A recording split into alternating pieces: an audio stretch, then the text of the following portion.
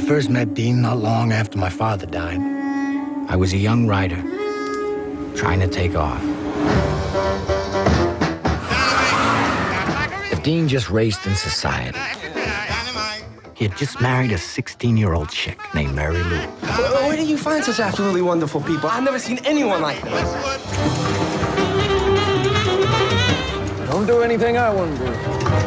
With becoming of Dean Moriarty began the part of my life you could call my life on the road. You finally got on that old road. He does not feel responsibility towards others. But Dean gives everyone a damn good time just being himself. He gives illusions, tricks. I never want to see you again. I don't know what's wrong with me. I do all these dumb things, and I think in all these distorted ways. Know, I'm burning up. And I shambled after as usual, as I have done my whole life after the people that interested me. Because the only people that interest me are the mad ones.